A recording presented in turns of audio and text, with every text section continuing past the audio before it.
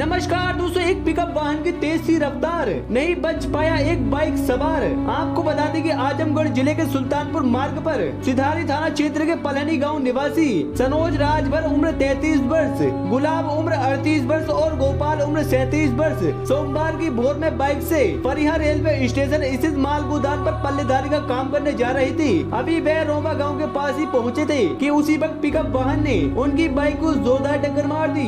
इस हादसे में तीनों युवक गंभीर रूप ऐसी घायल हो गए। सूचना आरोप पहुँची पुलिस ने तीनों को तत्काल एंबुलेंस ऐसी जिला अस्पताल के लिए रवाना किया। अस्पताल पहुँचने के पूर्व ही सनोज ने रास्ते में अपना दम तोड़ दिया। वही गुलाब और गोपाल को इलाज के लिए जिला अस्पताल में भर्ती कराया गया है। इसके बाद पुलिस ने सनोज के शव को पोस्टमार्टम के लिए मर्चरी भिजवा दिया। आपको बता दें कि सनोज एक लोती पुत्री का पिता था। इसके बाद इस घटना की सूचना परिजनों को दे दी गई, जिसके बाद परिजनों में कोहराम मच गया। दोस्तों आप सभी से निवेदन है कि आप सभी अपने वाहन को काफ़ी सावधानी से स्लो चलाएँ और सारे नियमों का पालन करें। तो मिलते हैं ऐसी ही और छोटी बड़ी खबरों के साथ। से तब तक के लिए आप सभी इन हादसों सावधान रहें।